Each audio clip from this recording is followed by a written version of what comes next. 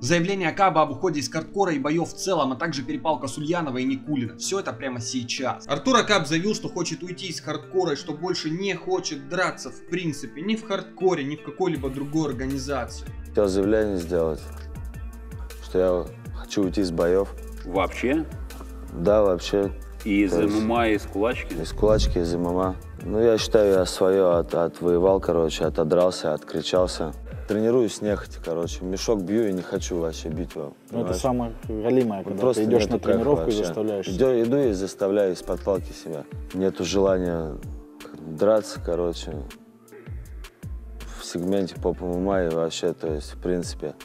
В общем, Акап еще много что говорил, что это ступень развития в прошлом, ему надо двигаться дальше, но все мы прекрасно понимаем, что основная причина в том, что он просто устал и больше не хочет не тренироваться, не драться. И на самом деле для него это максимально правильное решение, и вот почему. Понимаете, если раньше в ПП ММА могли приходить ребята с улицы и показывать какой-то уровень и конкуренцию, то сейчас эта самая конкуренция растет, приходят одни мастера спорта и международники. И теперь таким ребятам, как Артур Акап, чтобы оставаться конкурентоспособным, надо не то, что тренироваться в два раза больше, надо жить в зале. А все мы знаем, как живет Артур Акап, и он этого никогда не скрывал. Оставаться, чтобы просто проигрывать бой за боем, не имеет никакого смысла.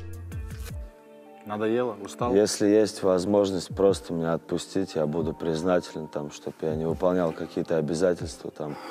Если мы очень тебя попросим, и я тебя не прошу отвечать сейчас, провести последний прощальный бой Акаба.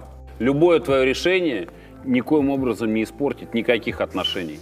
И мы, мы как относились к тебе как к родному, так и относимся. В общем, Анатолий Сульянов сказал, что сделает все так, как просит Акап, но в свою очередь попросил провести последний бой, который и так уже был запланирован с Пандой. Не знаю, будет данный бой или нет, потому что Артур Акап настроен категорически, ну и Сульянов тоже умеет убеждать, все мы это знаем. Везде в этой жизни надо вовремя остановиться и вовремя уйти. Я считаю, что Артур Акап с этим справился. А далее у нас перепалка Сульянова и Никулина. Никулину не понравилось высказывание Сульянова в его адрес, он записал видеоответ. Тимур Никулин, как кто-то там из вас сказал, когда бросал ему вызов, ну, из него, я думаю, 90% бойцов второго сезона с точки зрения класса э, ну, сделают, как-то там кто-то сказал, свою подружку или свою девочку, еще Он, он хорошо говорит, но по уровню хардкоров, ну, он уже будет просто деклассирован, объективно, ну, вот любым из здесь сидящих. В первом раунде, да, закончит его любой из вас здесь сидящих.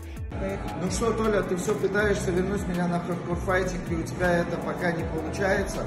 При одном условии у тебя это получится, если ты встанешь против меня сам. Давай проведем это безоговорочное противостояние в районе пяти раундов, и если ты выиграешь меня, ты даешь мне любого своего бойца и говоришь нам с кем драться, и я подерусь и выиграю его. Давай сделаем это. Если ты уверен в своих силах, если ты уверен в своих бойцах, давай. Вот на таком основании я именно подерусь с любым на хардкоре. А так, кто хочет с хардкора подраться со мной, вы знаете, где меня найти, я на правде. Поэтому приходите. С любовью, ваш король.